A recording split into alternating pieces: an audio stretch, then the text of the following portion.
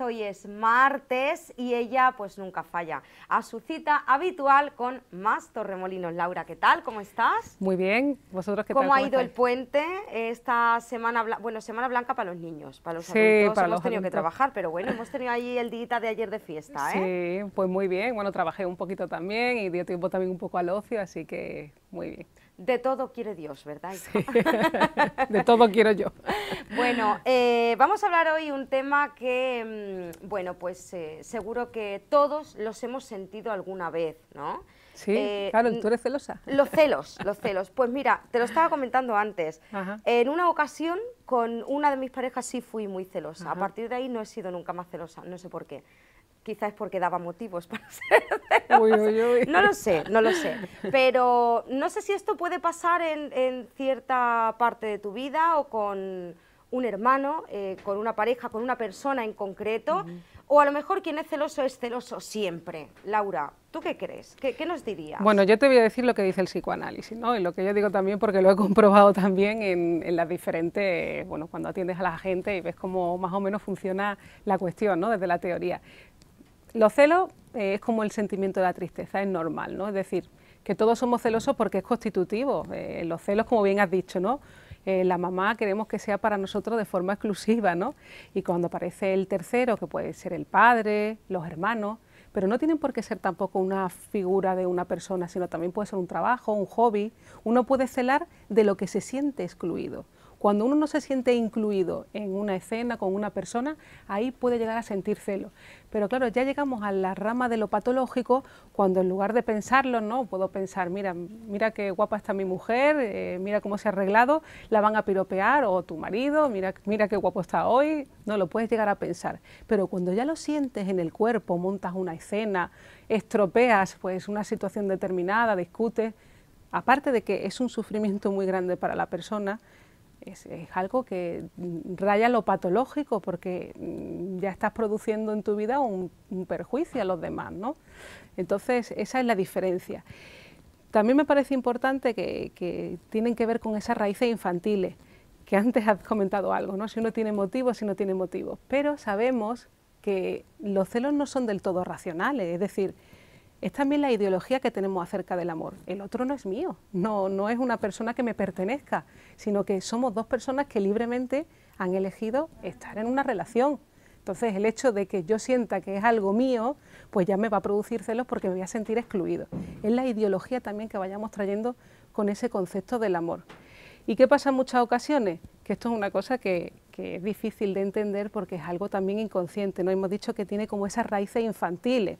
Cuando uno cela del otro tiene que ver con esos celos, celos de los hermanos, de esas primeras figuras amorosas que actúa en ti como una especie de modelo. Entonces cada relación como se reactiva, porque la mamá era solamente para ti. Pero claro, hay otro tipo de deseos, de deseos, de celos, que son deseos, que esto es muy interesante, porque es como que tú proyectas en la otra persona, eres muy celoso con la otra persona, porque en realidad estás hablando de tus deseos de infidelidad o incluso de haber cometido una infidelidad y que para, digamos, que tu conciencia lavar esa culpa, lo, lo proyectas en el otro. Eh, ¿Te refieres a que yo, por ejemplo, puedo eh, ser celosa porque pienso que la otra persona hace lo mismo que yo si yo soy la infiel, ¿no? Claro, pero, pero una, una, cosa muy interesante que Freud nos diferencia, que no es tanto irte a la experiencia personal de que yo he hecho, simplemente con el hecho de desear, y desear no te estoy diciendo que yo sienta esos deseos, sino que mm, en, ti aparecen de forma inconsciente. Hay una moral en todos nosotros que hay cosas que deseamos que, que la aparta, que la reprime, pero eso que reprime cuando dice yo no soy celoso, yo para nada, para nada, esa persona los actúa mucho más porque están reprimidos. ¿Y cómo aparece esos deseos en la persona? Yo no puedo reconocer en mí, es imposible, mi moral no me permite reconocer que cuando estoy en relación con una persona y yo creía que la relación del amor me lo va a calmar y me lo va a colmar todo y no voy a poder mirar a nadie porque estoy tan enamorado de mi pareja que no voy a desear a nadie más, eso no es cierto, los deseos van a estar siempre ahí. De hecho, en las personas hay una tendencia a la infidelidad necesitamos cambiar constantemente. Nuestra, nuestra base es la infidelidad, tenemos que ser infiel a la madre para estar con otras personas. Tenemos una base de infidelidad. Entonces es imposible que yo no pueda desear a otras personas cuando estoy con la pareja. Entonces, ¿cómo actúan nosotros? Ya digo que puede llegar a ser súper enfermizo y las personas sufren muchísimo. Entonces, ¿cómo, ¿cómo, hace nuestro mecanismo psíquico? Pues proyecta esos celos, proyecta esos deseos en lugar de no poder reconocer que yo tengo deseos de infidelidad, no que lo haya cometido, ¿no? Porque ya digo que Freud nos diferencia, una cosa es la realidad de la experiencia y otra es mi realidad psíquica, que esa muchas veces actúa más que lo que yo puedo, llegar o no llegar a hacer. Entonces, ¿qué ocurre en esa circunstancia? Que proyectas, yo no soy quien desea ser infiel, sino que eres tú. Entonces, como una proyección hacia esa persona y constantemente eh, aparecen esos celos, esa desconfianza, que ojo, que hay una frase que, dicen muchas parejas, es que yo desconfío de mi pareja. Pero claro, esa desconfianza hay que darle una vuelta. Igual uno desconfía de sí mismo porque al igual que mi pareja mm, puede cometer una infidelidad, yo también puedo hacerlo, ¿no? Es decir, que hay en mí también una tendencia a hacerlo, a pensarlo, a fantasearlo y no lo puedo tolerar, que en mí haya esos deseos. Los celos lo podemos leer como deseos.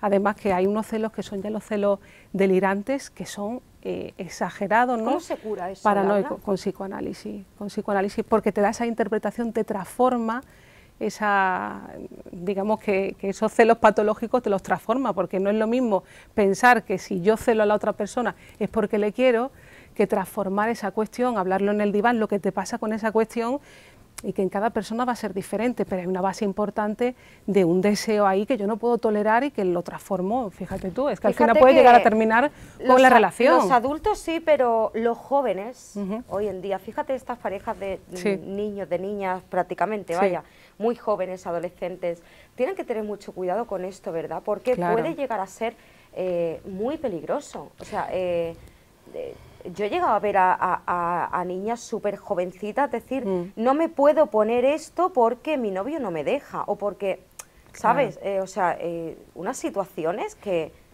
que, puede llegar a ser muy peligrosas. Claro, porque el otro cree que la, que la chica es suya, ¿no? Es como un amor posesivo, pero es, son víctimas los dos de la manera de entender el amor porque entienden el amor como que es una posesión, pero es como una cosa infantil, como su mamá, que es solamente para sí mismo, hasta que no aparecen los hermanos, el tercero, uno ya puede incluirse en otra escena, pero es como creer que la otra va a ser tuya, ¿no? Que es, que, pero uno cae también en esa, en esa situación porque también piensa el amor de esa determinada manera. Entonces hay que transformar la ideología que tenemos acerca del amor, porque somos personas libres que decidimos estar con la otra persona. Y ya digo, es muy peligroso porque hablamos que no es algo real, es decir, de, tiene que ver con esa forma de entender el amor, pero muchas veces son deseos reprimidos. Incluso te voy a decir que los celos más paranoicos tienen que ver con deseos homosexuales que uno no puede tolerar en sí, que no quiere decir que sea un homosexual, ¿no? sino que hay deseos que le despierta personas de su mismo sexo y entra en una fijación, una paranoia con la pareja porque está fijamente indicándole tú quieres a ese, tú deseas y hay como una fijación inconsciente ahí y que habla de un deseo que yo no puedo tolerar, de algo que para mí es muy rechazado.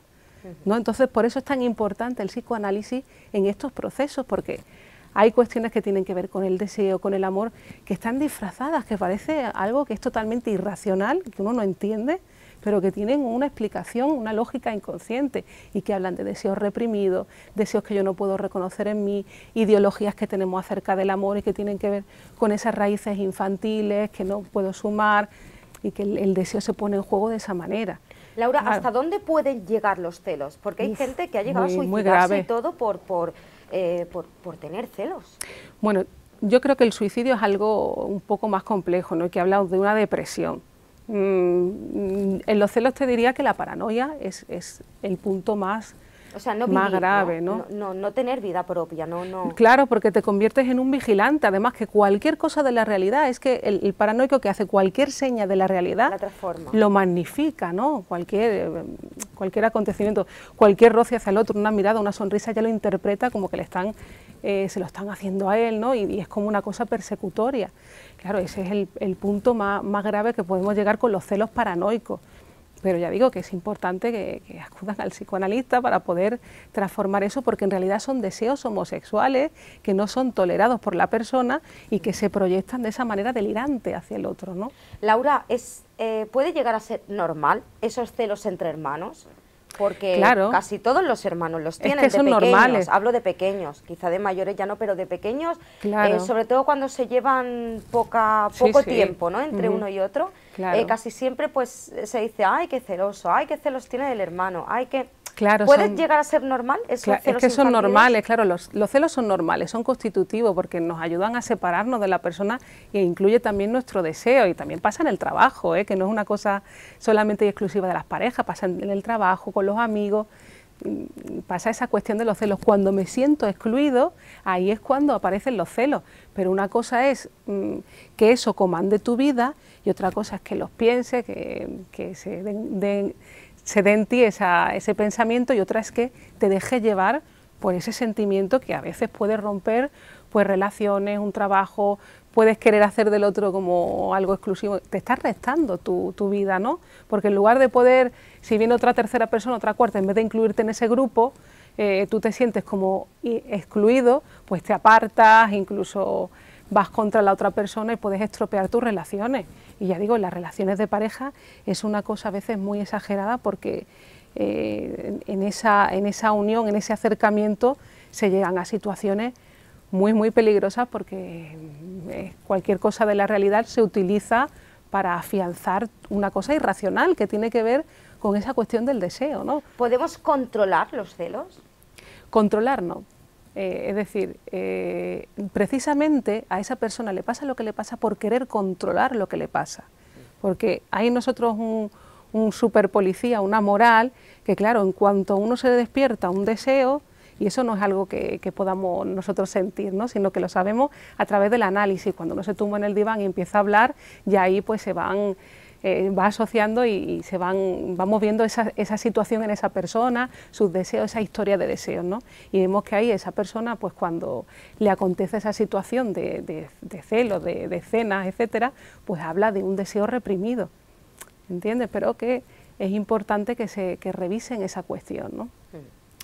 Siempre el psicoanálisis puede ayudar muchísimo a solucionar este tipo de, de problemas. Laura, eh, gracias por acompañarnos una semana más aquí en Más Torremolinos y bueno, y con ese programa maravilloso, Palabras para Vivir, ¿eh? que tienes cada lunes. lunes aquí en Torremolinos Televisión, ¿verdad? Hablando de numerosos temas eh, cada semana y que la gente pues también lo sigue, también lo ve. gracias, Laura, por acompañarnos.